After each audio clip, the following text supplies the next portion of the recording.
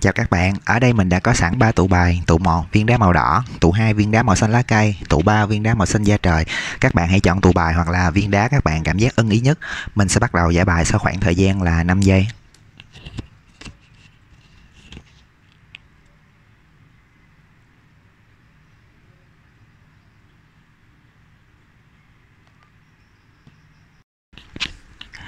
Bây giờ mình sẽ bắt đầu giải ở tụ số 1 Đối với những bạn chọn tụ số 1 viên đá màu đỏ thì chúng ta có lá uh, vua gậy, nữ hoàng gậy, người đưa tin tiền và lá năng lượng tổng quan là lá 10 gậy. Thì bài lên ở đây là có thứ nhất là có ba lá hoàng gia một tụ bài khá đặc biệt. Đầu tiên là về công việc á thì mình cảm giác là trong cái tuần uh, uh, thứ tư cũng là tuần cuối của tháng 2 á thì công việc của các bạn mình cảm giác là nó sẽ đi vào cái thời điểm gọi là chốt hẹn hoặc là có những cái sự đánh giá.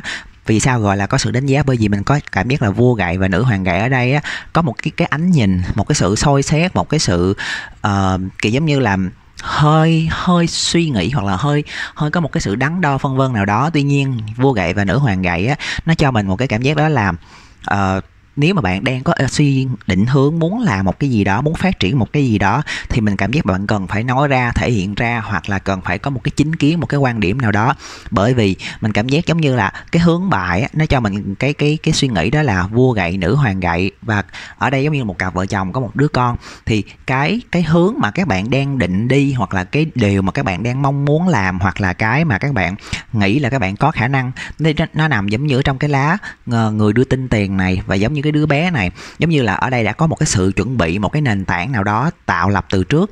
Và cái thời điểm bây giờ là cái thời điểm mà bạn nghĩ bạn có đầy đủ cái cần yếu tố cần hoặc là những cái gì nó cần để bạn thực hiện về công việc. Mà theo kiểu giống như là bạn uh, nghĩ là bạn muốn bước ra bạn muốn thoát ra thì mình cảm giác giống như là 10 gậy ở đây giống như là nó đủ. Nhưng mà để bạn có thể đi một cách chắc chắn thì mình cảm giác bạn cần nên cân nhắc lại hoặc là cần có một cái sự uh, suy nghĩ suy nghĩ theo kiểu ở đây không phải là suy nghĩ lại đường hướng mà là suy nghĩ theo kiểu giống như là à ta đã thật sự chuẩn bị đầy đủ vũ khí trang bị hay chưa? Ta đã có đầy đủ kinh nghiệm tìm hiểu về thị trường hoặc là tìm hiểu về uh, công việc đó hay chưa?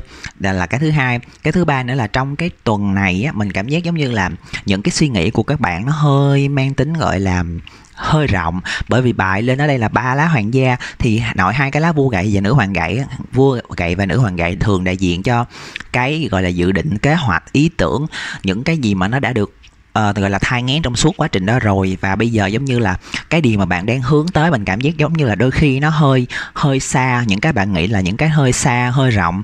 Mặc dù bạn đã có những cái sự chuẩn bị nào đó nó thể hiện ở trong lá người đưa tin tiền nhưng mà mình cảm giác giống như là liệu bạn có còn đang thiếu sự tự tin hoặc là bạn có đang cảm giác là cái hướng đi đó đúng hay không?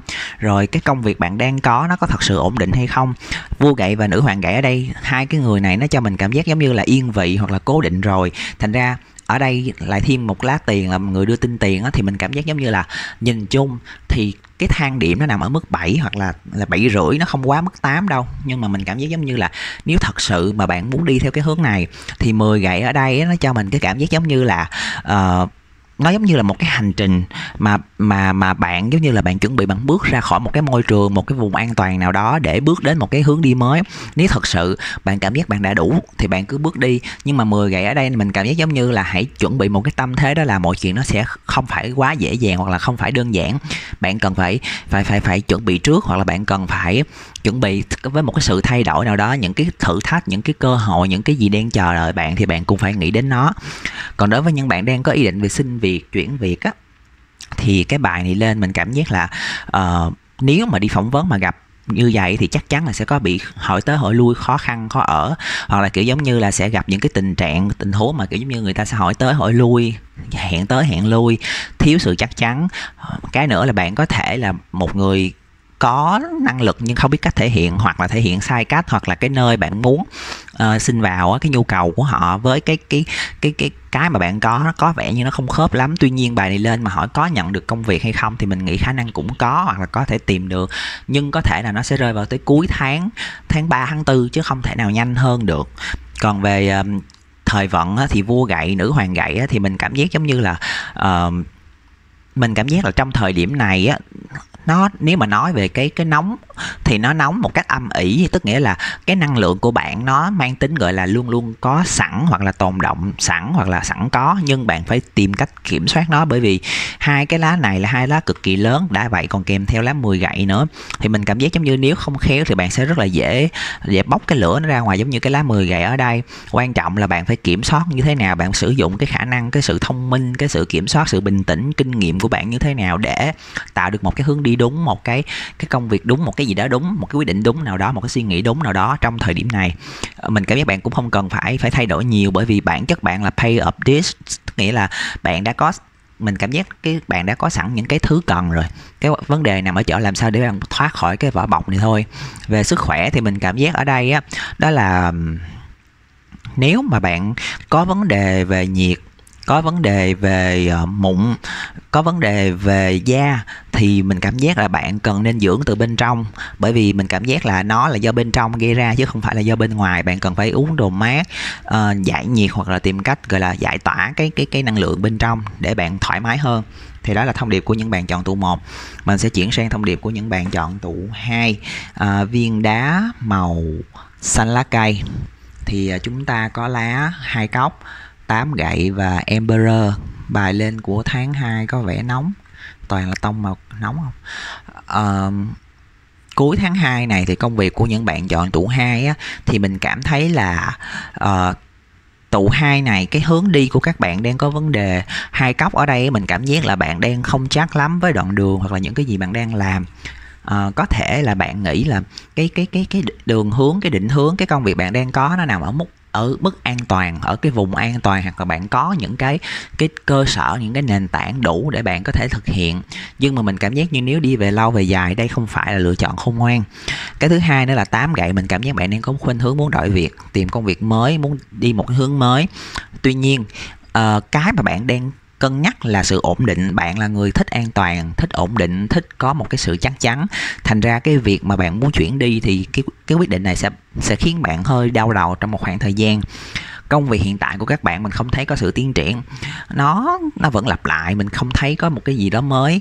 Ngoài ra nữa, cái chỗ bạn làm nó hơi thị phi hoặc là nó có lời ra tiếng vào hoặc là sếp là kiểu người kẻ trên người dưới, tức nghĩa là bạn phải theo ý họ hoặc là bạn phải làm theo kiểu mà họ mong muốn. Cái môi trường này á, càng ở lâu thì thì cáo có khả năng thì dễ phát triển hơn là là người mới đến là cái thứ nhất. Cái thứ hai nữa là dù bạn là người có năng lực thì nơi này cũng không phải là nơi để bạn bung xõa. Bởi vì mình vẫn thấy người có năng lực hầu hết họ không chọn ở lại nơi này mà họ chọn cách ra đi. Vì chỗ này là chỗ gọi là uh, cậy già hoặc là kiểu giống như nó hơi mang tính kiểu giống như là nhà nước ví dụ như vậy. À, về cái hướng làm á, thì mình cảm giác là những bạn chọn tủ hai á cái năng lực của các bạn nó có nhưng mà mình cảm giác bạn cần phải có một cái sự trao chuốt còn có một cái sự đầu tư hơn. Mình vẫn thấy có thể bạn có thiên hướng về những cái um, liên quan đến uh, bạn có khả năng về giao tiếp bạn có khả năng về tưởng tượng lên ý tưởng tổ chức. Nhưng mà mình cảm giác bạn lại muốn làm những cái công việc mà nó mang tính ổn định và và và nguyên tắc hơn một chút xíu. Kiểu giống như là bạn thích phát triển bản thân theo kiểu giống như làm tìm một công việc có cái đồng lương nó tương đối cao. Bởi vì mình cảm giác là bạn muốn có một cái sự ổn định để đầu tư cho cái cuộc sống sau này, hoặc là bạn đang có dự định gì đó sắp tới trong thời gian tới, có thể như mua nhà, mua xe, hay là đi học, hay là làm một cái gì đó. Thành ra mình cảm giác bạn cần tiền, còn cần một cái sự vững mạnh về tài chính. 10 gãy ở đây nó cho mình cảm giác là bạn bạn có vấn đề về tài chính, nhưng mà không phải là vấn đề quá lớn, chỉ là liên quan đến việc, gọi là, bạn tích trữ đầu cơ, hay là định làm một cái gì đó cho bản thân. Nhưng mà mình cảm giác là tạm thời ở thời điểm hiện tại bạn chỉ có một cái cái lượng vừa phải. Đối với những bạn xin việc chuyển việc á thì bài này lên là chuyển việc thì gọi thì cũng được tại vì 8 gậy với hai với với hai cốc thì mình cảm giác là bạn sẽ có một số cơ hội. Và cơ hội này nó sẽ đến rất là nhanh có thể là nội trong tháng 3 là bạn đã được nhận rồi. Và tha, cái cái cơ hội của bạn nó sẽ đến là bởi vì người ta cần chứ không phải là là bạn thật sự là đầy đủ. Tức nghĩa là bạn có những cái tiêu bạn có đáp ứng được tiêu chí của người ta nhưng mà vấn đề là bạn được nhận bởi vì người ta đang cần hoặc là vị trí này đang khuyết. Còn về cái việc mà bạn chuyển đi á thì cái chỗ mới này mình vẫn cảm giác nó tương đối ổn. Về thời vận á, thì đối với những bạn chọn tụ tụ hai á mình cảm giác hai cốc và tám gậy thì mình nghĩ đó là năng lượng của các bạn sẽ không ổn định. Uh, bạn nên cẩn thận về việc đi lại và đặc biệt là nên để ý đến việc gọi là thức đêm hoặc là uh, hạn chế đi khuya mình không biết sao nhưng mình cảm giác giống như là bạn nên nên hạn chế ra ngoài vào thời điểm này. À, về sức khỏe thì những bạn chọn tuổi hai mình cảm giác giấc ngủ của bạn có vấn đề việc nghỉ ngơi của các bạn có vấn đề. À, bạn là người suy nghĩ nhiều dễ bị mất ngủ hoặc giấc ngủ không sâu. À, bạn nên để ý đến việc ăn uống hoặc là việc nạp năng lượng cho cơ thể bởi vì mình vẫn cảm giác cơ thể của bạn là người rất là dễ bị tuột đường huyết hoặc là dạng hấp thụ kém thì đó là thông điệp của những bạn chọn tủ 2 à, mình sẽ chuyển sang thông điệp của những bạn chọn tủ 3 đối với những bạn chọn tủ 3 viên đá màu xanh da trời thì chúng ta có lá bảy gậy vua cốc vua tiền. Bài hôm nay lên khá là nhiều lá hoàng gia. Tủ nào cũng lên lá hoàng gia đối với những bạn chọn tụ 3 mà hỏi về gọi là công việc thì đầu tiên á, công việc của các bạn trong tụ 3 mình vẫn thấy là có một cái sự không hài lòng. Có lẽ như cái cái thời điểm này là thời điểm mà dân tình ờ, đua nhau đi đổi việc thành ra tụ nào nó cũng lên cái việc gọi là thay đổi. Là cái thứ nhất. Cái thứ hai đó là trong cái tụ ba này mình vẫn cảm giác đó, đó là bạn không hài lòng về một ai đó. Người này có thể là sếp có thể là đồng nghiệp có thể là một người nam chức lớn hoặc là một người uh, nữ tính như đàn ông cái mà bạn cảm, mình cảm giác tụ ba này nè, cái cái cái bạn là kiểu người có thể nhịn được, có thể trụ lại được trong cái môi trường này. Vì ít nhất cái cái chỗ làm bạn, hiện tại bạn đang có đó, nó cũng ổn định. Nó cho mình cái cảm giác là nếu bạn chịu ở lại thì bạn vẫn còn cơ hội đi đi lên. Cụ thể nó thể hiện ra lá lá vua tiền. Nhưng mình cảm giác bạn là một người làm việc cần cảm xúc, tức nghĩa là bạn cần phải có một cái sự thoải mái. Bạn cảm giác muốn gắn bó, bạn cảm giác hài lòng, bạn cảm giác thoải mái. Có thể lương là một vấn đề cũng quan trọng đối với bạn, nhưng mà bạn cảm giác giống như mình hết chịu nổi, mình không không thích ở lại cái môi trường này nữa nên nên bạn muốn đi. Là cái thứ nhất. Cái thứ hai nữa là bạn cảm giác là nếu ở lại cái môi trường trường này á công việc của bạn càng lúc nó càng nhiều mà thiếu sự hỗ trợ giúp đỡ hoặc là không có một cái cái team làm việc mang tính thống nhất không có ai nghe ai hoặc là cái người đứng đầu hoặc là cái người trưởng nhóm không thật sự mạnh về về chuyên môn. Ngoài ra nữa bạn cảm giác là nếu với cái năng lực với những gì bạn đang có bạn có thể đi sang một cái môi trường khác tốt hơn và bạn sẽ đi sớm thôi bạn lên chắc chắn bạn sẽ đi bạn không ở. Bởi vì bởi vì cái tính của bạn một khi đã quyết á, thì bạn sẽ làm chỉ là vấn đề là thời gian thôi. Còn cái việc mà bạn cân nhắc việc đi hay ở này, mình cảm giác bạn cũng đã cân nhắc một thời gian rồi, chứ không phải là mới đây về cái hướng đi mới thì mình cảm giác là bạn sẽ đi theo hướng những công việc liên quan đến gọi là những cái bạn đang có hơn là chuyển hướng. Uh, mình không thấy bạn có ý định học lên nhưng mà mình cảm giác giống như là bạn muốn đi tìm một công việc nào đó mà bạn ở luôn bởi vì mình vẫn thấy bạn muốn tìm một cái công việc nó um, nó ổn định bạn không thích chuyển nhiều bởi vì mình vẫn cảm giác là bạn thích gắn bó ở một nơi sau đó bám rễ và phát triển bạn muốn đi lên bạn là người có tham vọng và bạn muốn bản thân mình đạt được một cái vị trí nào đó. Mình thấy những bạn chọn tụ ba này là những người suy nghĩ rất là nhiều thực tế lý tính và, kiểu, hơi tham vọng. Mình thấy trong công việc trong cái tuần cuối tháng 2 này á, nó giống như kiểu là việc ai nấy làm, thân ai nấy lo và bản thân bạn thì bạn muốn chú ý tập trung vào cái mảng mà bạn bạn bạn bạn bạn quan tâm nhất thôi. Còn công việc của người khác hay là những cái phần khác bạn không có muốn ôm hoặc là không có muốn làm. Tuy nhiên mình vẫn cảm giác là bạn sẽ phải gánh một phần công việc của ai đó hoặc là chịu trách nhiệm hỗ trợ, đào tạo hay là giúp đỡ ai đó trong thời gian tới. Bởi vì mình vẫn thấy là có là có một cái sự yêu cầu, một cái gì đó um, ở đây dành cho bạn.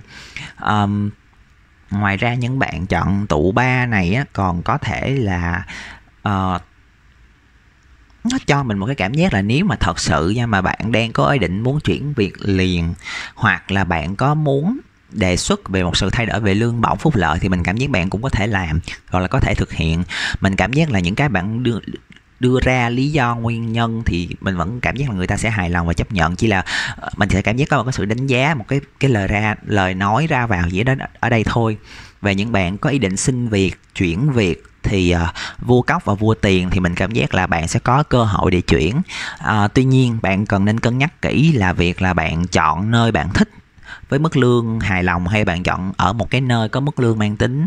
Nghe rất là um, lý tưởng nhưng mà nó nó cực. Là cái thứ nhất. Cái thứ hai nữa là nếu bạn chuyển việc thì bạn có chắc là bạn gắn bó với cái môi chỗ mới hay không?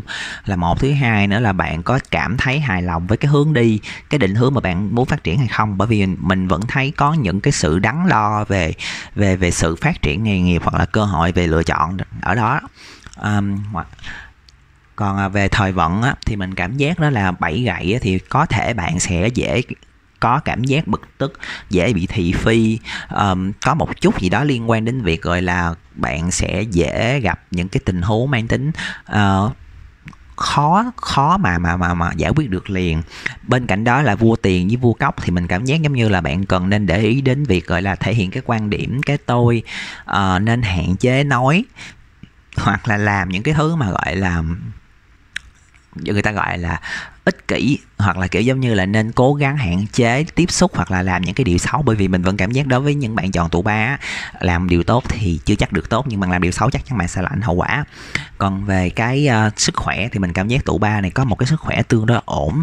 Mình cảm giác là bạn bạn có một cái cái cái cái cái cái cái thời điểm này về sức khỏe của bạn tương đối ổn. Tuy nhiên bạn cần nên để ý đến đến những cái vấn đề mà mang tính gọi là uh, cá nhân về sức khỏe con người cá nhân về sức khỏe nam nữ về uh, chuyện nam nữ vân vân. Đó là những cái vấn đề mà bạn cần nên lưu tâm.